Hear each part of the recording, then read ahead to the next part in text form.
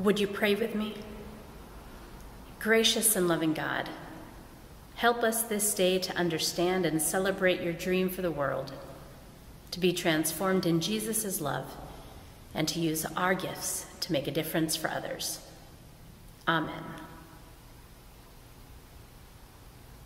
Happy Laetare Sunday, the fourth Sunday in the season of Lent kind of almost like Gaudete in Advent, a bit halfway through the season, so as to give you some energy and some encouragement and some joy despite all the suffering.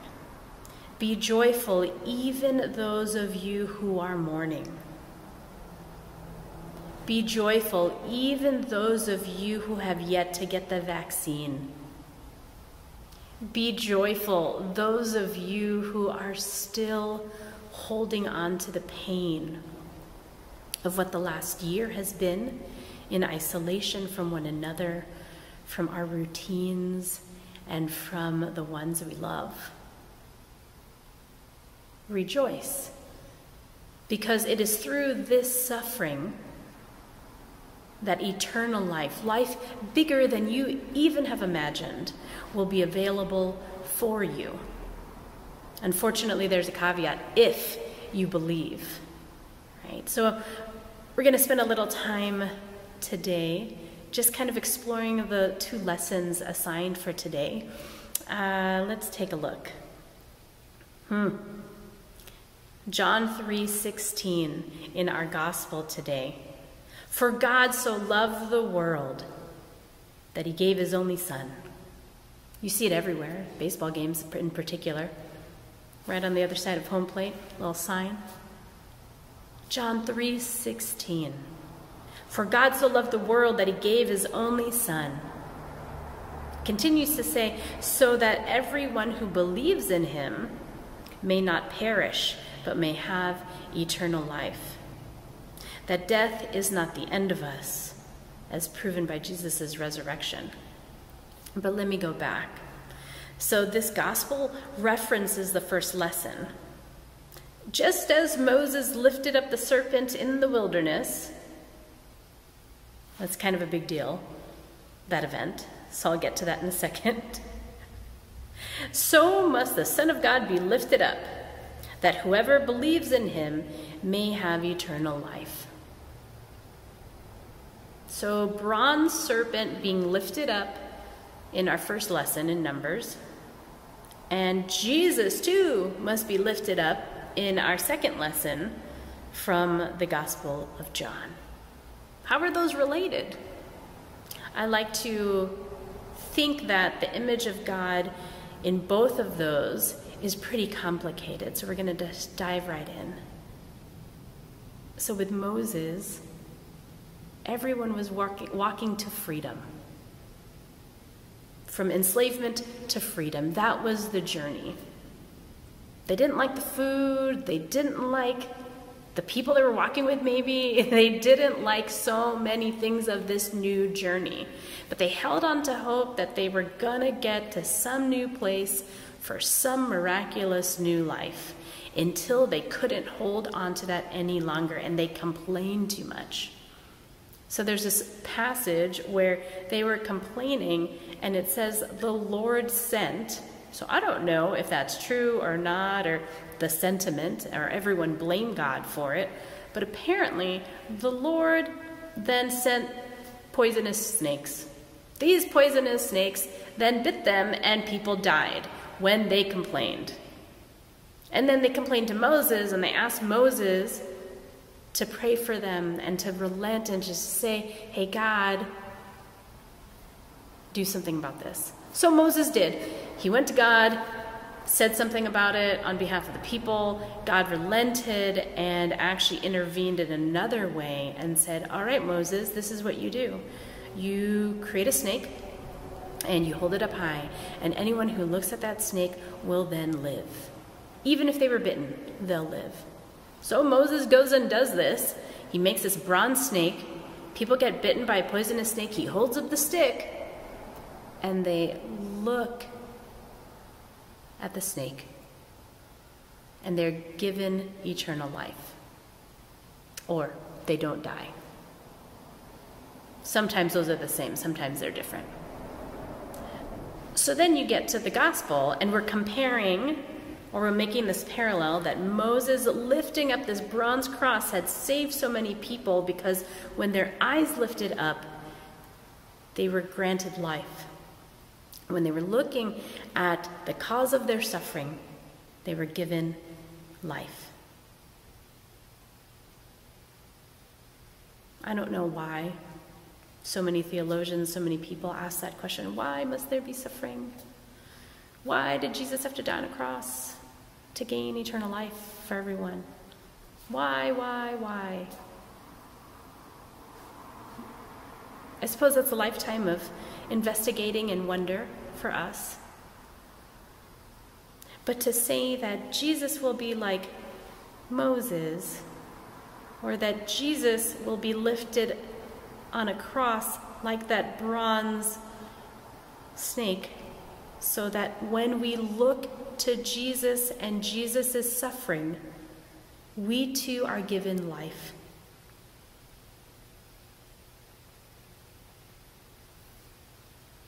The last few weeks in Lent, in our observance of Lent, we have introduced a practice to you called the Examen, come from uh, the spiritual exercises of St. Ignatius.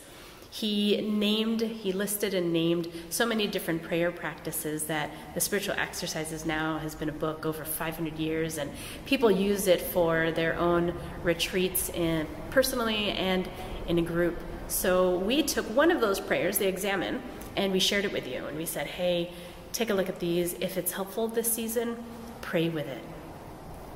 Another prayer um, meditation that Ignatius offers us in the spiritual exercises is a fun one that I'd like to introduce to you today, in addition to the Examen. So he has this moment where he literally just imagines and invites the retreatant to imagine. What was it like for the Trinity to take a look at the world and say, hmm, maybe we should do something about that. Maybe we should intervene and send Jesus. Like, what would that moment have been like? And when I close my eyes and I jump into that imaginative prayer, I'm just smiling at how fun the Trinity is, first of all.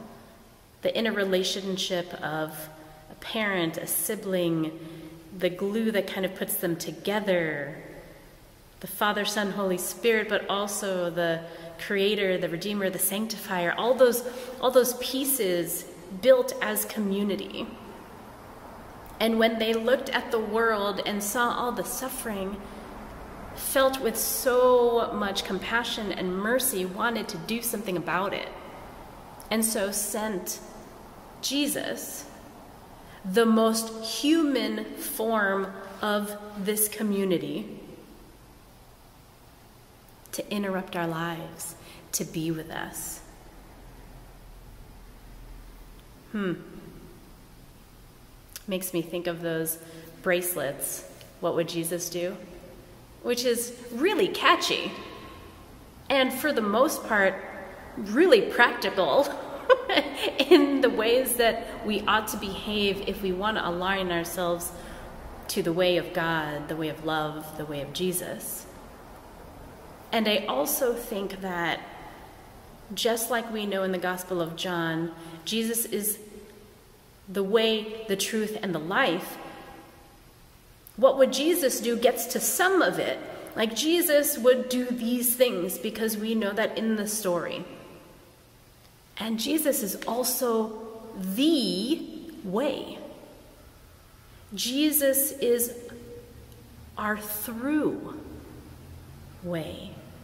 So we look at passages of him being present with lepers, people who have been outcast, set aside, set outside of community, to suffer in their pain alone so as not to influence, damage, poison the center of society. So Jesus went there So if you want to know what Jesus would have done, he would go to the margins. So that's one way. And he would do these things, so we too must do that. We must go to the margins. We must include those who have been excluded. We must listen to people suffering and be there. And that, my friends, is a great life in the life of Jesus and Jesus' love. And I also think because Jesus is the way, the truth, and the life, that Jesus is the vessel for which we go and see and be with one another. So if Jesus goes to the margins and goes to the lepers, yeah, we're supposed to do that too. And if we use Jesus as a vessel for which, if we see Jesus' life as the way the Trinity hoped to intervene in our life as an example and as a through way to one another, we see him relating and he becomes transparent because he's really trying to connect my heart and your heart, my body and your body, my suffering and your suffering, my empathy to your empathy. And there, in fact, we have become the ones we've been waiting for. Not to make it all about us. But Alice Walker says this, Barack Obama says this. They say they quote June Jordan, you know, and maybe Sweet Honey in the Rock quoted her too, or maybe it was Lisa Sullivan. All these different people around post civil rights time. I think it's kind of fun that we don't really know who initially said it because I feel like it's a communal sentiment. So, in this communal sentiment, Jesus reminds us, because he is the way, that we are what we've been waiting for. So, yeah, he had 12 followers, or 11, or centuries old of people who have followed his way and what he has done. And I think for me, possibly for you today, has Jesus reintroduced you to one another? in a way that feels as though we're invited to enter into the suffering just as God, through the Trinity, sent Jesus, that we too are sent to bring joy and glad tidings, particularly where there is suffering. So, in just a couple minutes, I'd invite you to. Um, find a comfortable place as we take a look at this Examen. And um, the best part, I think, of the Examen, if you if you haven't noticed, the questions are the same every time you do it. But what is unique to the way Ignatius introduces this activity for us is that we have to name a desire. And that desire ideally is aligned to God's desire. And so the desire that we that we held out for all of us this week is we pray for the desire to resist turning away from the suffering of others.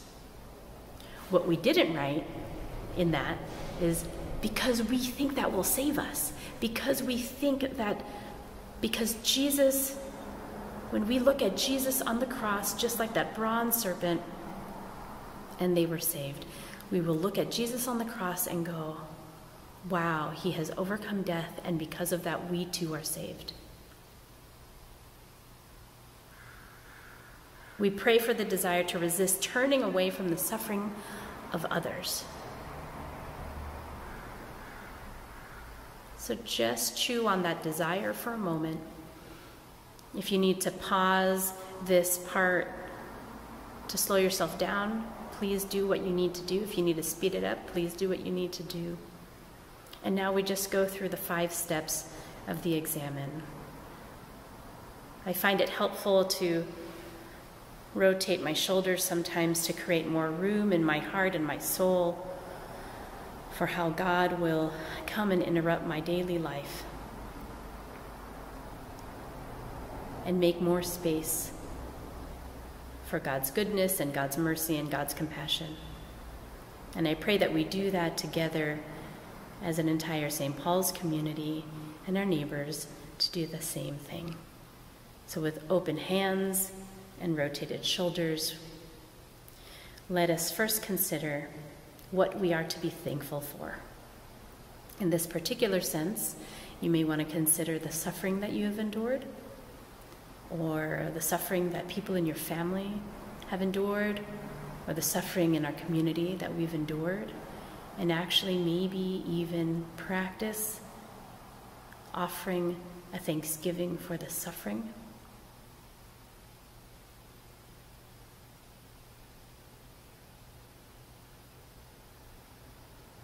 Secondly, we invite the Spirit. We invite the Spirit to come and breathe life in us, to give us encouragement and strength to be able to look at suffering in a deeper way, in a truer way, in a longer way, because this is hard. Perhaps some of our memories were constructed in a particular way, and now we invite the Spirit to break through previous ways of knowing, to reassemble some of those memories for us. Because we know that Jesus is the way, and we know that Jesus has overcome death. And so we take a moment now to find God in all of this. We might have found ourselves asking, why, why, why, why me, or why suffering? But look for God. Look for the God who, unlike the first lesson, who caused more suffering, but look for the God who actually intervened, like the Trinity, into our lives to bring joy and connection, even amidst the mourning. So look for that God.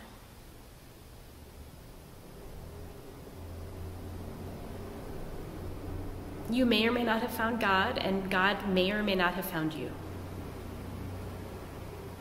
So you may want to spend a little more time with that. And when you're ready, move to asking for right relationship, or some people would say asking for forgiveness. Was there something that I or we could have done a little differently? Did I just brush aside that person's suffering because I was impatient? Or I've heard it all before? Or I've got my own stuff? Ask for forgiveness there because we were given many opportunities to connect with one another and we might not have been ideal in every situation. So it doesn't have to be heavy, it just has to be noticed. And lastly, we move ahead in hopefulness, in real deep seated hopefulness that yes, someday our experience of one another will be fuller and richer because of our faith. Well, maybe tomorrow I'll be a little more patient or I'll stand up for myself so that I'm not just listening to somebody the entire time, but I too can share with someone or in our community what is the hopefulness we want to hold together in the midst of the very active active desires and calls now we find ourselves in in 2021. So, my friends, there has been great suffering. And our desire this week is not to turn away from suffering and not to turn away from other suffering, but to look it right in the eye, just like that bronze serpent, just like Jesus on the cross We look to our neighbor's suffering, we look to our own suffering, so that we too may be gifted eternal life, life in its fullness.